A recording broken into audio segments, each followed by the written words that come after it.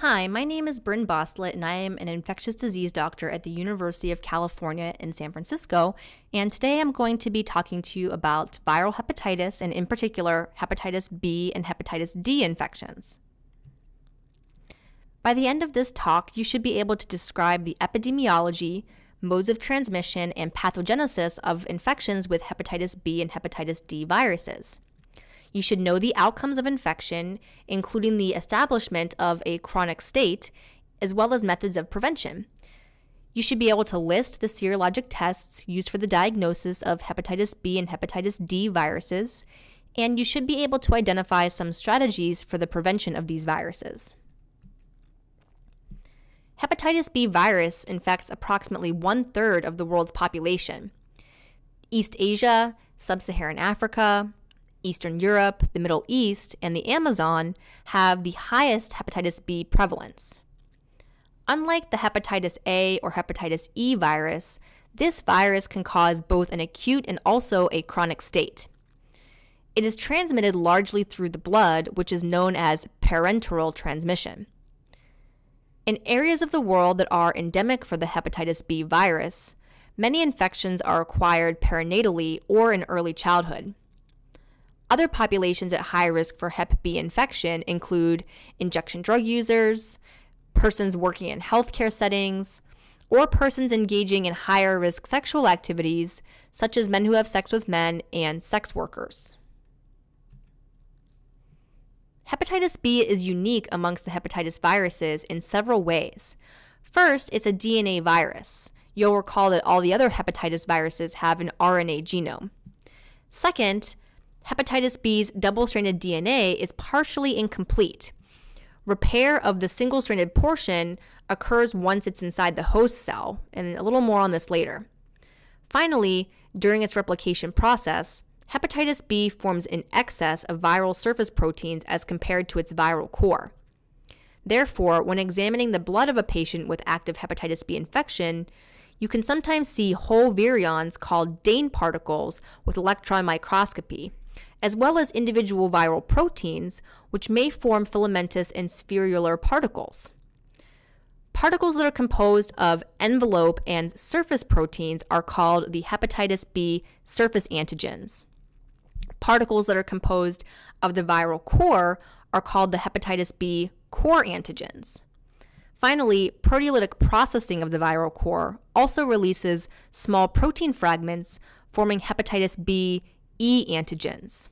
These are important to know because our immune system produces antibodies against these particles that can help us to diagnose hepatitis B infection. Hepatitis B replicates its DNA genome through an RNA intermediate via reverse transcription, which is another unique feature.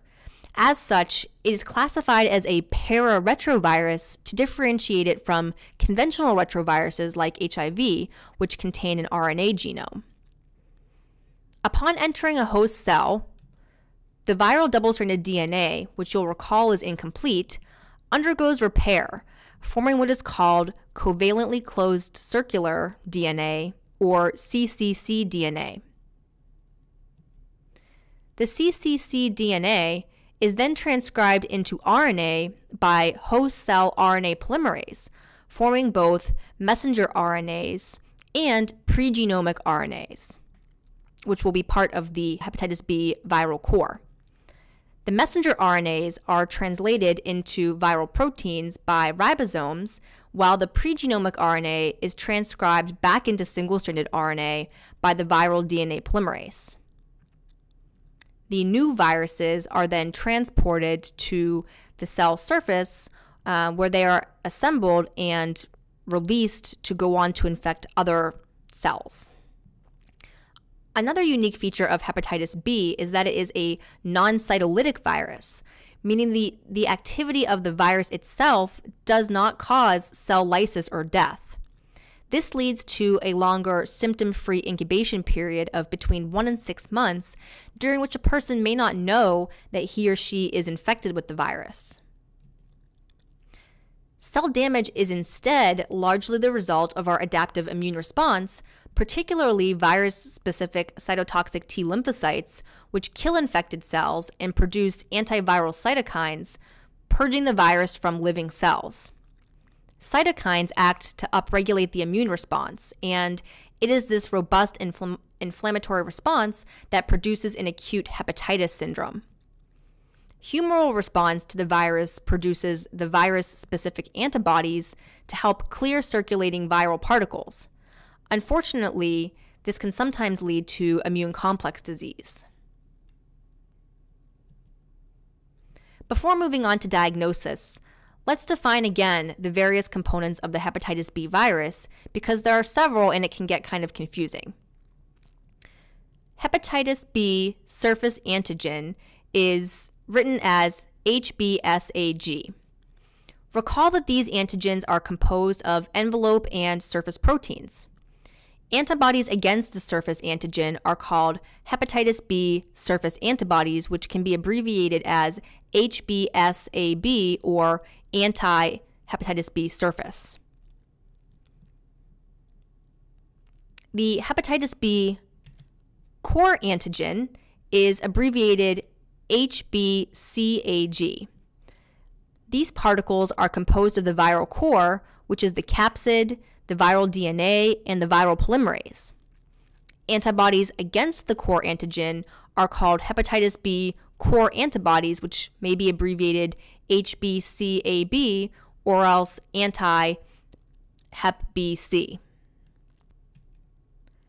Finally, hepatitis B E antigen is abbreviated HBeAg.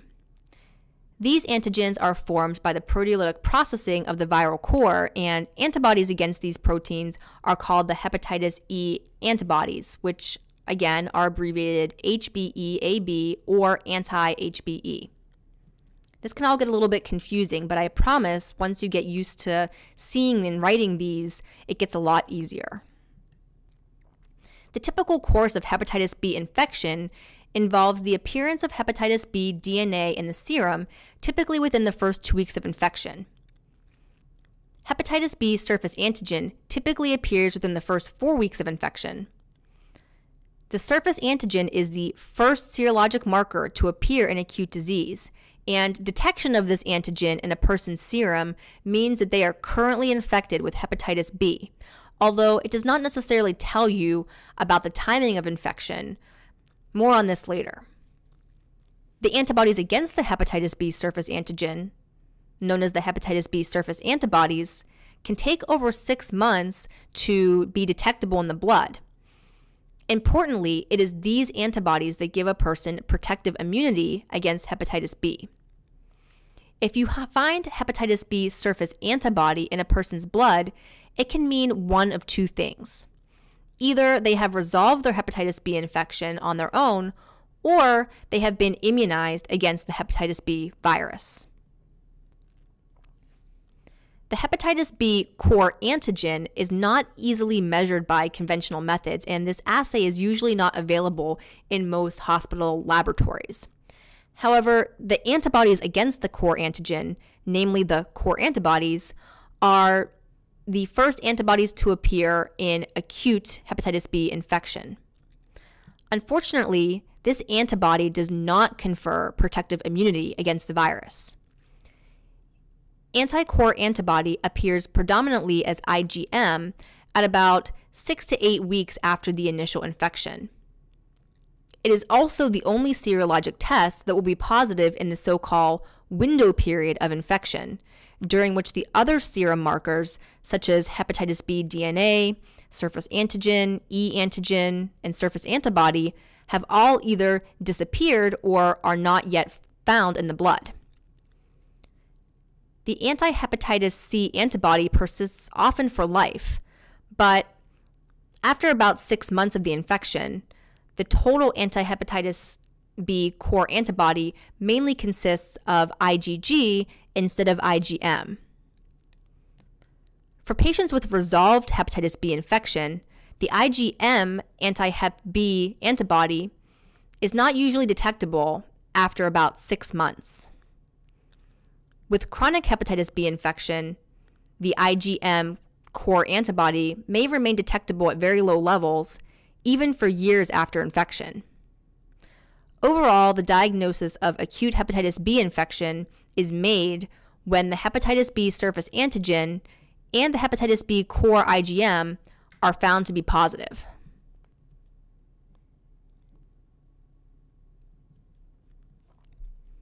The hepatitis B E antigen appears soon after the surface antigen, and detection of this antigen means that the virus is actively replicating. Recall that the E antigens are formed by the proteolytic processing of the viral cores. Detection of E antigens is typically correlated to higher levels of circulating DNA and thus higher infectiousness of the virus. The E antigen may be short lived and thus is not typically sent as part of the screening for acute hepatitis B infection. In the typical course of resolving infection, patients will develop anti E antibodies.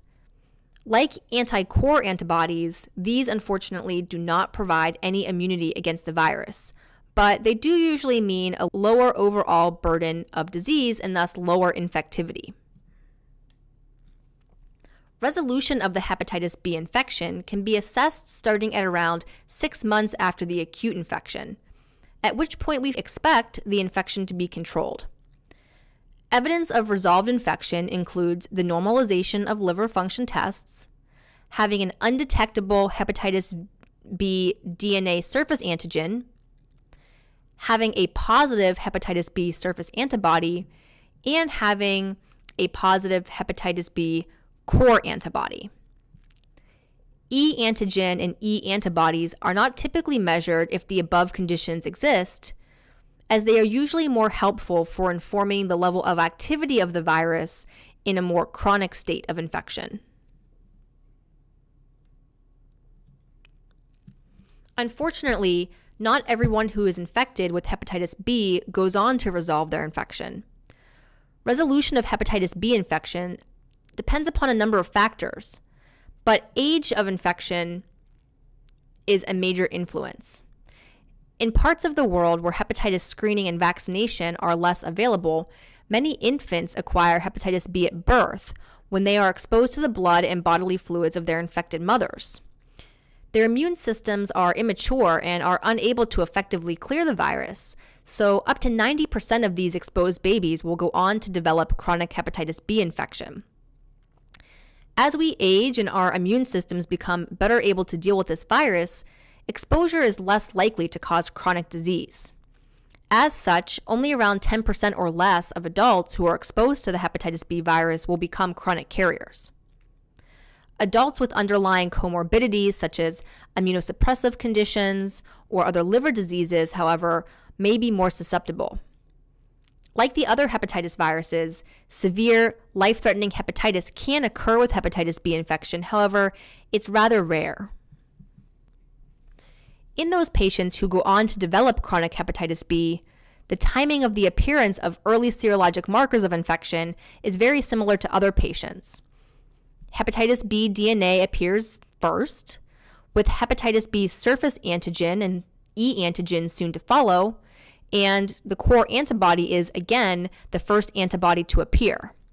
However, unlike those patients who will resolve their infection, the hepatitis B surface antigen and E antigen will persist beyond six months, as will the hepatitis B DNA.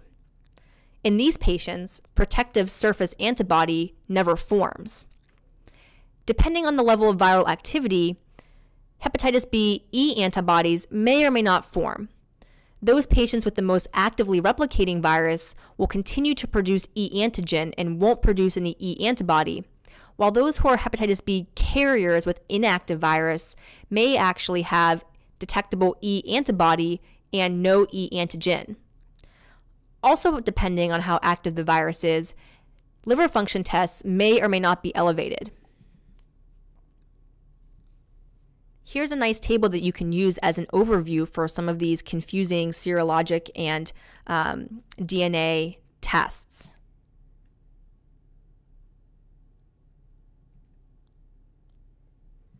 In terms of the treatment for hepatitis B, Antiviral medications are sometimes recommended for use in more chronic infections with hepatitis B. Some medications that have been studied include interferon alpha, as well as several of the nucleoside analogs, including lamivudine, entecavir, and adefovir. These are usually only used in patients who have chronic active forms of the hepatitis B virus. For patients who have severe disease, such as fulminant hepatitis B, or patients who have long standing chronic disease and go on to unfortunately develop cirrhosis as a result of their hepatitis B infections, liver transplant may be the only option for treatment. Immunization with hepatitis B vaccine is the most effective means of preventing hepatitis B infections in adults and has been available since 1982. The complete vaccine series induces protective surface antibody levels in more than 95% of people who have the vaccine. Protection lasts for at least 20 years and is probably lifelong. Preventing hepatitis B infection during infancy and early childhood is particularly important because of the high likelihood of chronic hepatitis B infection and chronic liver disease in these patients. In the United States, most persons with hepatitis B acquired the infection as adolescents or adults. However, efforts to vaccinate persons in the major risk factor groups have had limited success. Moreover, over one third of patients with acute hepatitis B do not have readily identifiable risk factors, and so these populations can be very difficult to target. Another strategy for preventing hepatitis B disease is testing to identify pregnant women who are hepatitis B surface antigen positive and then providing their infants with immunoprophylaxis through both immunization and also passive antibody administration, which effectively prevents hepatitis B transmission during this crucial perinatal period. This strategy can also be used for adults who have possibly been exposed to a hepatitis B virus carrier through occupational hazards such as a needle stick injury.